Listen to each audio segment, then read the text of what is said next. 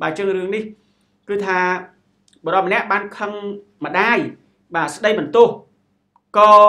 ដកកំភ្លើងបាញ់កំទេចរថយន្តរបស់ខ្លួនហើយគេចបាត់បាទអញ្ចឹងអឺលោកម្នាក់ហ្នឹងគាត់ជាប៉ូលីសសាក់5ទៀតបាទហើយគាត់ធ្វើការនៅខាងលិខិតឆ្លងដែនបាទគាត់មានតំណន្តរស័ក្តិគាត់ជាសាក់5បាទហើយគាត់ជាមន្ត្រីប៉ូលីសបាទមានកំភ្លើងខ្លីហើយខឹងម្ដាយស្ដីបន្ទោសហ្នឹងមិនដឹងរឿងអីទេ ក៏ដកកំភ្លើងហ្នឹងបាញ់ខ្ទេចរថយន្តរបស់គាត់បាទនេះសំណាងហើយអត់មានអ្នករតីត្រូវរបួសបាទបើសិនមានអាចមានទោសមានទណ្ឌទៀតប៉ុន្តែទោះយ៉ាងណាក្តីក៏នៅតែមានទោសដែរទេព្រោះគាត់ថាមានទោសក្នុងការបាញ់បោះអនាធិបតេយ្យបាទសេរីធ្វើឲ្យគេភ័យខ្លាចយ៉ាងទៅប៉ុន្តែគាត់បានគិតខ្លួនបាត់ហើយបាទរឿងមន្ត្រីនគរបាលនាយកដ្ឋានលិខិតឆ្លងដែនមិនយកលុយខ្មែរទើបនឹងដោះស្រាយរួចរាល់កាលពីថ្ងៃទី16ខែវិច្ឆិកាកន្លងទៅ ចូលដល់មន្ត្រីនគរបាលខ្លាំងខឹងម៉ែតាមស្ដីឲ្យដល់ KTV ខឹងចិត្តបាញ់កំតិចឡាន11គ្រាប់ទាំងយប់អត់ហ៊ានចូលអត់មានអ្នកណាហ៊ានចូលខាត់បាទគឺថាកើតឡើងកាលពីវេលាម៉ោង11យប់ថ្ងៃទី16ខែវិច្ឆិកា2018ស្ថិតនៅតាមបណ្ដោយផ្លូវជាតិ173ក្នុងសង្កាត់ទួលស្វាយព្រៃទី1ខណ្ឌចំការមនរាជធានីភ្នំពេញសមត្ថកិច្ច សូមមិនបញ្ចេញឈ្មោះបានបង្ហើបដឹងថាមន្ត្រីនគរបាលដែលបានបាញ់សេរីនោះគឺឈ្មោះថាដិនវ៉ាណូអាយុ38ឆ្នាំពាក់ស័ក5ប្រពន្ធព័ត៌មានបានឲ្យដឹងថាមុនពេលកើតហេតុ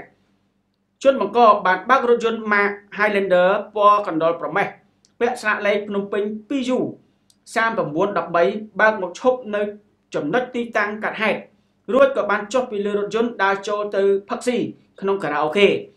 មួយសន្ទុះក្រោយមកកំពុងតែផឹកស៊ីឆ្ងាញ់មាត់ផងនោះស្រាប់តែម្ដាយរបស់ខ្លួនចូលមកដល់បន្ទប់ខារ៉ាអូខេហើយបានស្ដីបន្ទោសពីរឿងដើរផឹកស៊ីខារ៉ាអូខេទាំងយប់ដោយមិនគិតពីរឿងការងារបាទមើលផ្ទះសម្បែងទេដោយតូចចិត្តនឹងខ្មាស់គេផងហើយស្រវឹងផងនោះ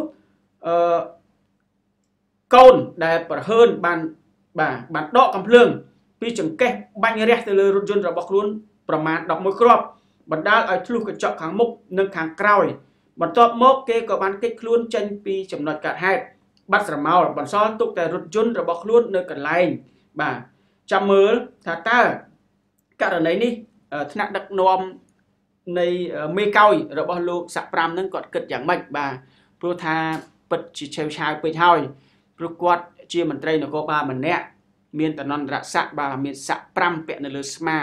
ប៉ុន្តែគ្រាន់តែគ្រាន់តែម្ដាយទៅហាមឃាត់មិនឲ្យដើរ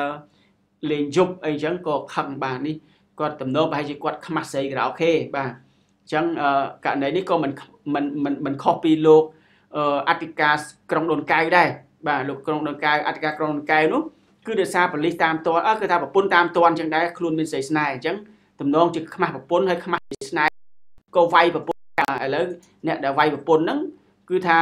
អគ្គស្នងការអង្គរបាលជាតិ បញ្ជាឲ្យដកបញ្ឈរជើង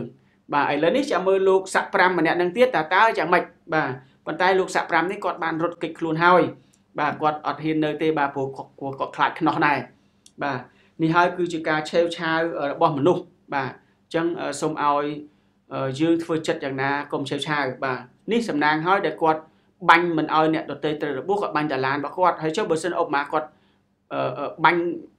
ម្ដាយគាត់ឬបាញ់ខ្លួនគាត់ទៅយ៉ាងម៉េចអញ្ចឹងហើយការឆេវឆាវបាទហើយ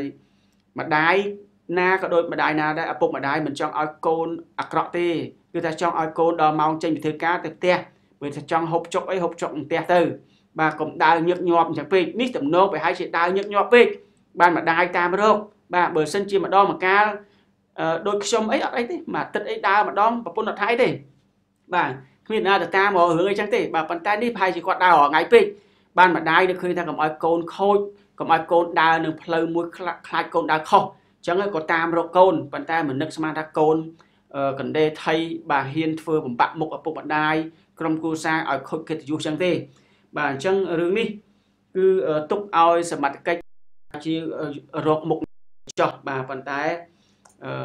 នេះគឺជារឿងបុគ្គលរបស់គាត់ទេគាត់ត្រូវតែសាងកិត្តិយសឡើងវិញពិបាកបន្តិចបាទបើសិនជាគាត់នៅកន្លោះវិញ ទៅតែដឹងកូនគេនឹងប្រហែលជាគេមិនឲ្យទេ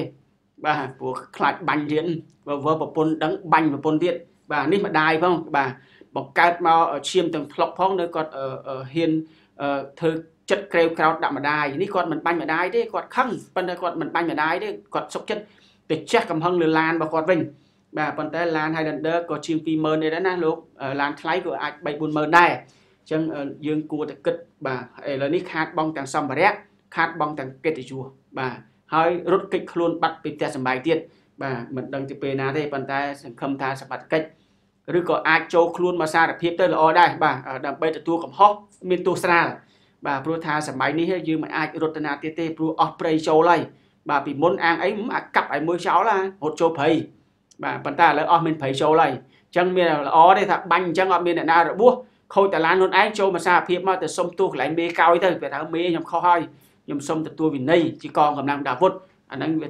ស្រាលតិចដែរបាទនេះគឺជាការយល់ឃើញរបស់ខ្ញុំទេ